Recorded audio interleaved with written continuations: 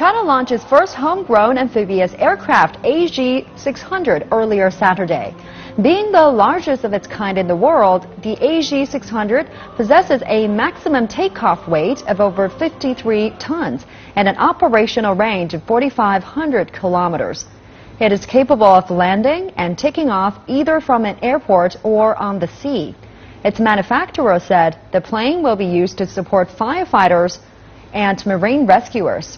Now it will make its maiden flight at the end of this year. From Sanya to the southernmost point of the South China Sea, we used to travel by boat. Even the fastest boat takes a week to travel such a long distance. With a seaplane, we can make it within three hours.